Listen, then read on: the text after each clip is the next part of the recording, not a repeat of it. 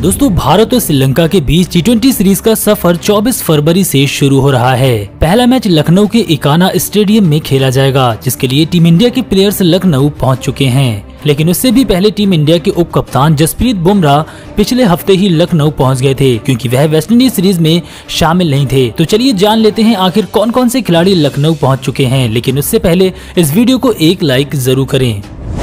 दोस्तों, श्रीलंका के भारत दौरे पर हमें तीन टी और दो टेस्ट मैच देखने को मिलने वाले हैं। जहाँ पहला टी लखनऊ के इकाना स्टेडियम में तो वहीं दूसरा और तीसरा टी हिमाचल प्रदेश के एचपीसीए स्टेडियम में खेला जाएगा। इसके बाद 8 मार्च से पहला टेस्ट पंजाब के पीसीए क्रिकेट स्टेडियम में खेला जाएगा, जबकि दूसरा और अंतिम मुकाबला चिन्ना स्वामी स्टेडियम में होने वाला है। तो चलिए अब आपको बताते हैं की कौन कौन से खिलाड़ी लखनऊ पहुँच चुके हैं। लखनऊ पहुँचने वाले खिलाड़ियों में शामिल है कप्तान रोहित शर्मा, ऋतुराज गायकवाड़ ईशान किशन सूर्य कुमार यादव श्रेयस अय्यर, दीपक हुड्डा, उप कप्तान जसप्रीत बुमराह भुवनेश्वर कुमार, दीपक चहर, हर्षल पटेल, मोहम्मद सिराज, संजू सैमसन, रविंद्र जडेजा, युजवेंद्र चहल, रवि बिश्नोई कुलदीप यादव और आवेश खान।